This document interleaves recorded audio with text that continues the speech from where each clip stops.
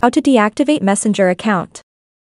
In this video, I will show you how to deactivate a Messenger account. All you have to do at first is to open the Facebook application on your phone.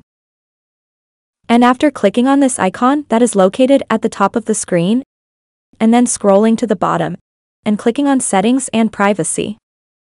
Then click on Settings, then click on Personal and Account Information, then click on Account Ownership and Control. Then click on Deactivation and Deactivation. And after you go to this page, click on Continue to Account Deactivation. And in at the end, you type your password and then click on Continue.